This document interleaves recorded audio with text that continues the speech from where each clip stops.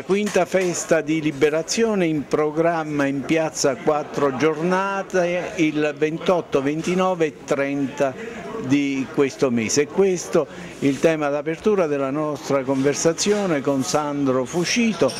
capogruppo della Federazione della Sinistra, nonché eh, dirigente nazionale di Rifondazione Comunista. Ritorna la festa dunque. Ma in un'epoca in cui si pensa che i partiti siano tutti uguali, che siano delle generiche associazioni a delinquere, con la pochezza dei nostri mezzi di un partito sbattuto, sbattuto fuori dal Parlamento, ma con l'entusiasmo di uomini e donne, di giovani, di militanti, noi ricostruiamo un appuntamento di tre giorni Sottolineo che forse siamo gli unici a Napoli a proporre una festa politica di tre giorni anche in questa stagione, in queste eh, settimane. L'occasione per discutere, innanzitutto per ricordare i valori costitutivi della nostra Repubblica, le quattro giornate di Napoli e il luogo anche simbolico è Piazza Quattro Giornate nell'imminenza della intestazione dello stadio, lo stadio della Liberazione mostra sulle quattro giornate, la giornata del venerdì che si interroga sul ecco, futuro. Ecco, veniamo agli appuntamenti qualificanti. La giornata di venerdì si interroga sul futuro politico della sinistra e dei lavoratori, un dibattito con Vittorio Agnoletto, del leader del movimento dei movimenti, Malafiom, i lavoratori, Gianni Rinaldini, e ancora SEL con il quale noi non rinunziamo ad avere una interlocuzione e il sindaco di Napoli per chiedergli se egli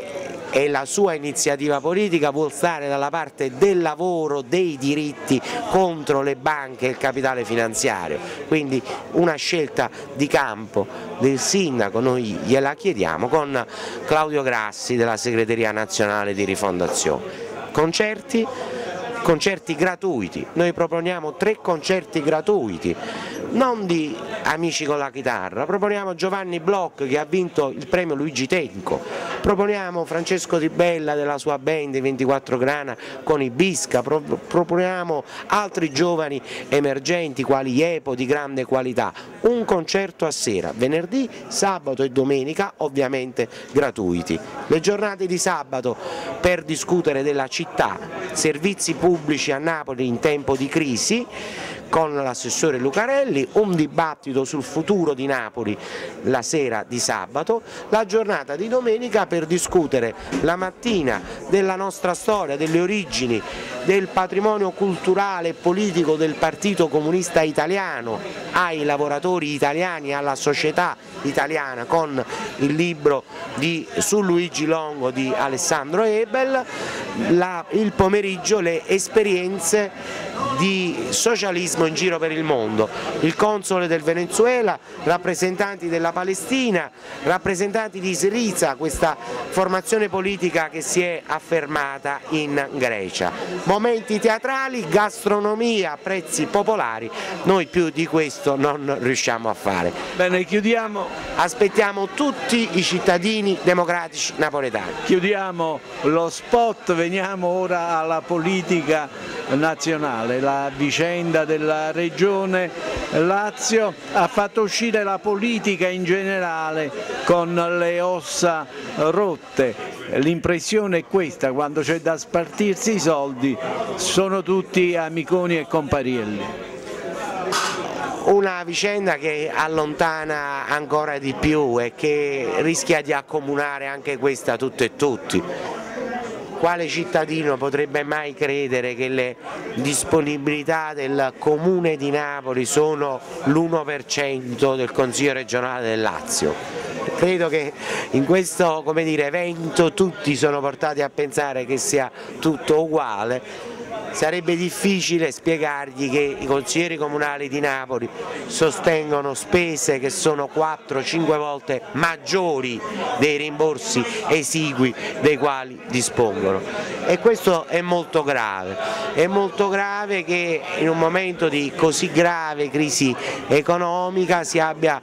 dire, eh, non si abbia neanche il dubbio che non è consentito ad una persona, ad un cittadino, ad un amministratore guadagnare cifre che sono uguali a decine di volte di più delle persone che vanno a lavorare la mattina, che stentano, che faticano, che non ce la fanno a fine mese. Lo dicono tutti, ma noi più che dare l'esempio, più che prevedere norme nello statuto nel quale nessuno del nostro partito potrà guadagnare oggi e domani più di 2.000 euro al mese più che poter dire, rispondere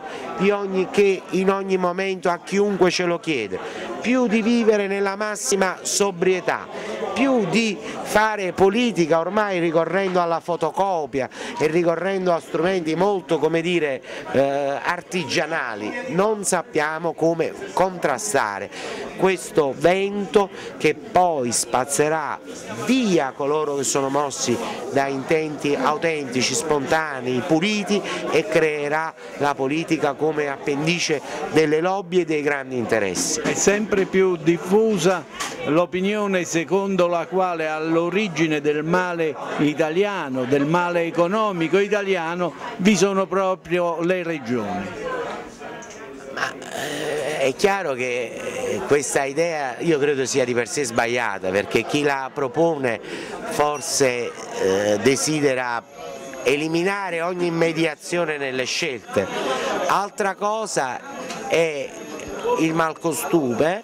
ma soprattutto altra cosa è la politica senza i partiti intesi come gruppi collettivi di persone capaci di esercitare un indirizzo ed un controllo. Oggi e se guardiamo anche i dati dei consigli regionali dove si spende di più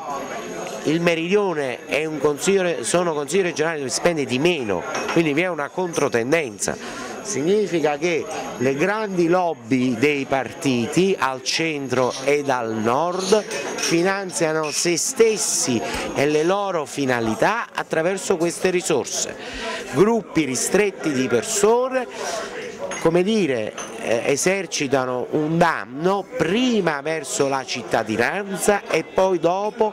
verso gli stessi elettori che ripongono in essi una fiducia. Lo fanno perché non esiste più la dimensione collettiva di un partito, un organismo che si riunisce, un collegio di garanzia, qualcuno che possa mettere in discussione perché ha smesso da pochi minuti di lavorare, può dare il suo contributo disinteressato, grande Partito Comunista vedeva gli operai poter discutere alla pari insieme agli intellettuali, dire la loro, condurre le battaglie politiche per la trasparenza perché essi erano disinteressati.